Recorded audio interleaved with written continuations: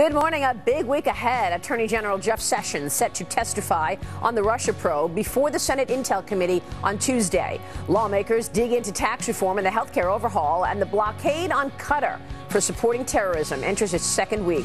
Hello, everyone. I'm Maria Bartiromo. Welcome to Sunday Morning Futures. As Attorney General Jeff Sessions gets set to appear on the Hill Tuesday, lawmakers are demanding to see James Comey's memos. Did the fired FBI director break the law when he helped leak them to the press? I'll talk with House Intel Committee member Peter King coming up, along with a one time colleague of Comey's, former U.S. Attorney Bud Cummins, is here.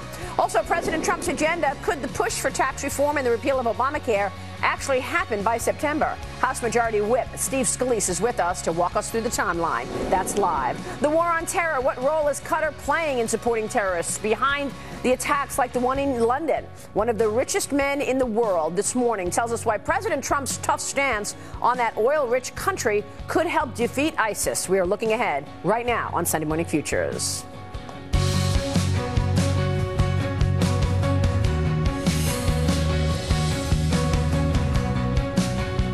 And another blockbuster hearing is in the works. Attorney General Jeff Sessions is set to appear before the Senate Intelligence Committee this Tuesday, going under oath to answer questions about Russian meddling in the 2016 election. His turn in the spotlight coming on the heels of testimony from former FBI Director James Comey last week. Congressman Peter King is on the House Intelligence Committee, and Bud Cummins is with us here in the studio. He is a former U.S. Attorney in the Eastern District of Arkansas. He worked with Jim Comey and is now a partner with Avenue Strategies. Gentlemen, good to have you both on on the program. Thank you so much for joining us. Thank you. Thank you. Good Maria. to see you. Congressman you. King, let me kick it off with you. You being on the House Intel Committee, you want to see those memos from Jim Comey, uh, the memos that he wrote about the president. What are you looking for?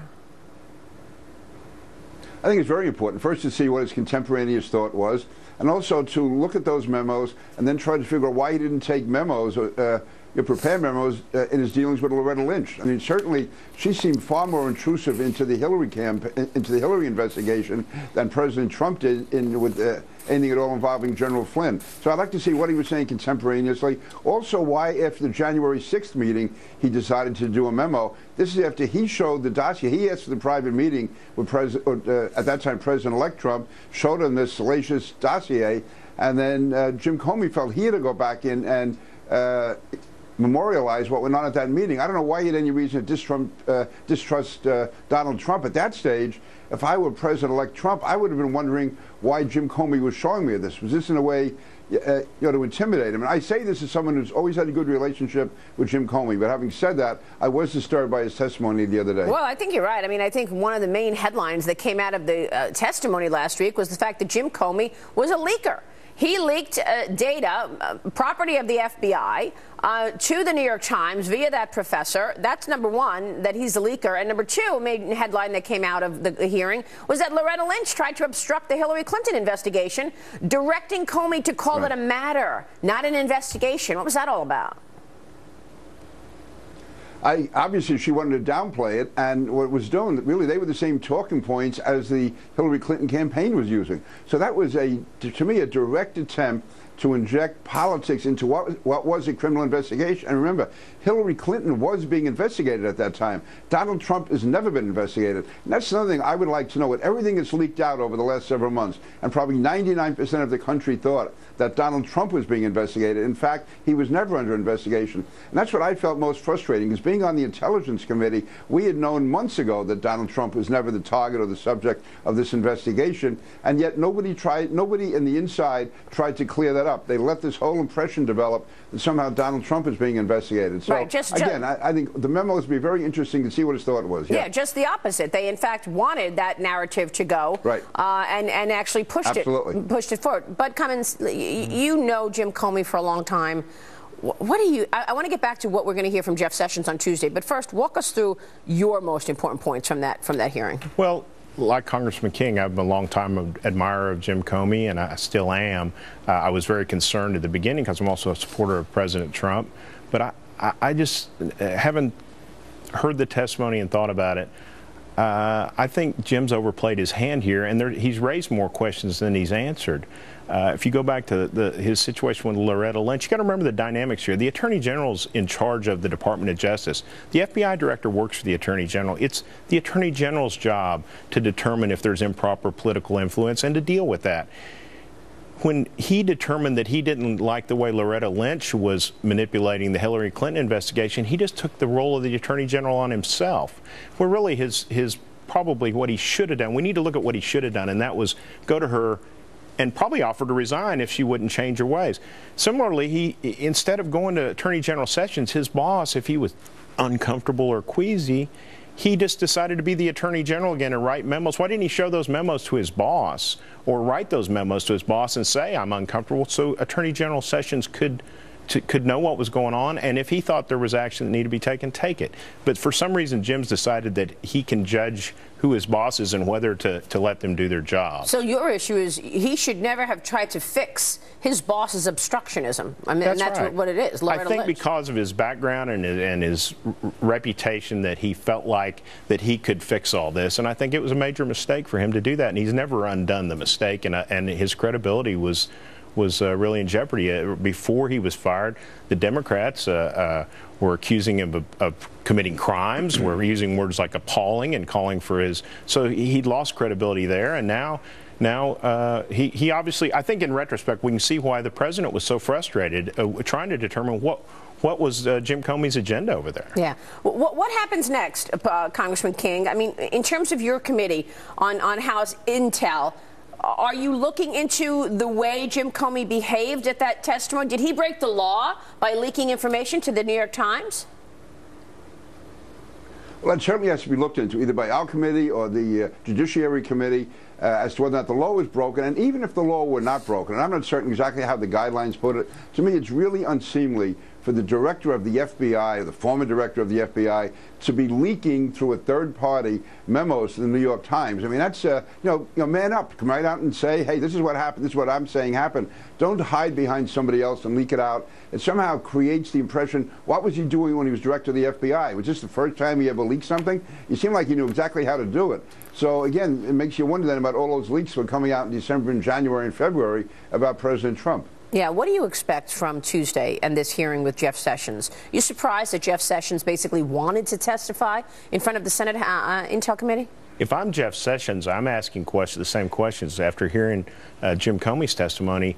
I want to say, why didn't I know what was in those memos at the time you were writing them? I'm your boss. And I think he, he's probably going to come raise those questions and explain that he wasn't able to do his job as Attorney General because Jim Comey was not, for whatever reason, uh, reporting to him. Yeah, that's a really good point. He cut him out. Congressman King, what do you think about that? Weigh in here. What are you expecting Tuesday?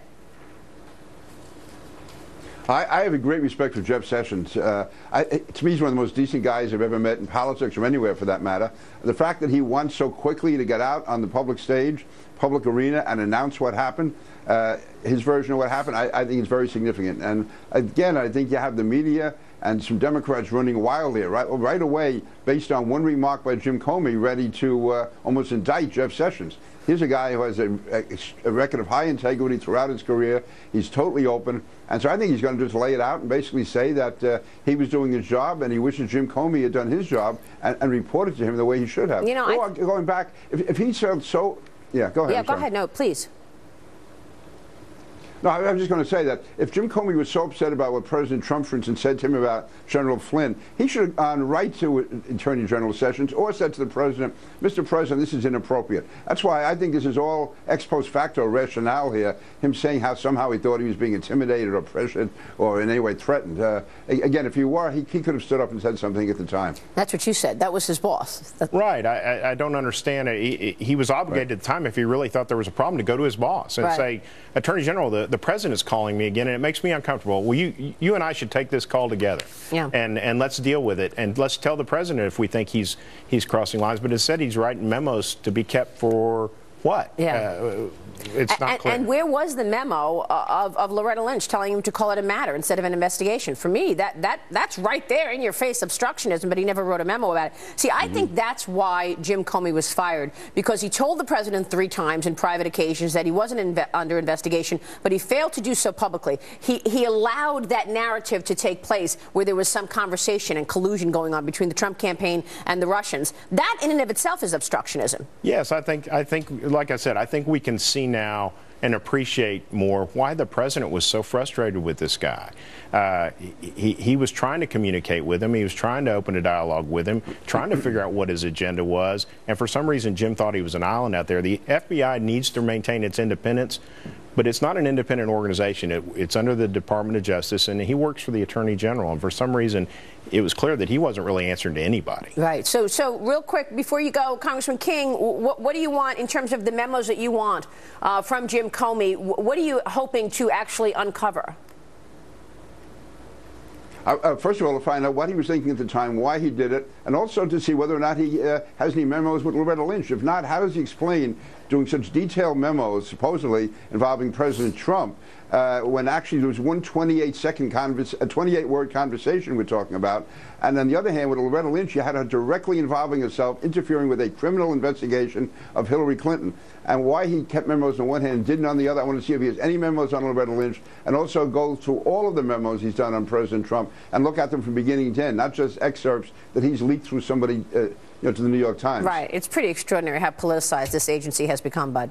Yes, and, and I think that's part, part. Jim Comey's never run for office, but he stepped into the political arena. I don't know if he saw the the warning signs when he did it, and, and I think he really hurt himself when he leaked this memo. I think that was probably a reaction. The president hits hard, and and Jim. Uh, uh, he hit Jim hard Yeah. in the public, and I think he reacted poorly to that and leaked this memo. And I bet he regrets that because Well- I think it really has hurt his credibility. We'll see about that. Bud Cummins, great to see you, sir. Thank you very Thank much. you. Congressman Peter King, always a pleasure. Thank you, gentlemen. How much of this has created a, a, a, a noise and a distraction for those trying to get an agenda passed? Coming up next, the push for tax reform and healthcare overhaul. Could a single piece of legislation accomplish both by September? House Majority Whip Steve Scalise will join us on that angle. That's next. Follow me on Twitter at Maria Bartiromo at Sunday Futures. Let me know what you want to hear from Congressman Steve Scalise. He's on deck next. Back in a minute.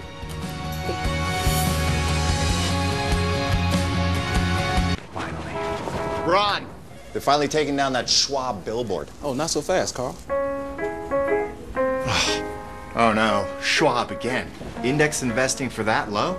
That's three times less than Fidelity. And four times less than Vanguard. What next? No minimums?